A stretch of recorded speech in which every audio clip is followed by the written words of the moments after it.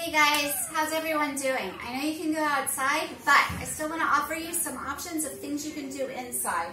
I, for some reason, had a lot of water bottles on my counter and got to thinking. I'm going to show you how to do what's called a drop set.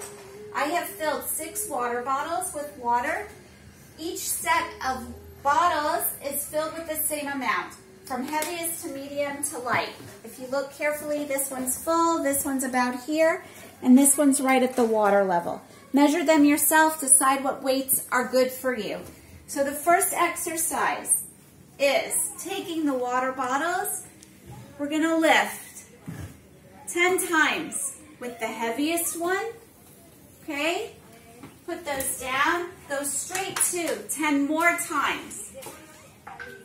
With the medium, put those down and go 10 times with the lightest ones. It's a kind of a tricky thing. It's actually good for your coordination because the not full bottles will rotate and shift as the water moves around in the bottle. When you're done with 10, 10, and 10, run in place 30 seconds. Okay, and then drop for a plank for 30 seconds. Okay, and hold it. When you're done with that, go back. Use your water bottles again do that for three times all the way through.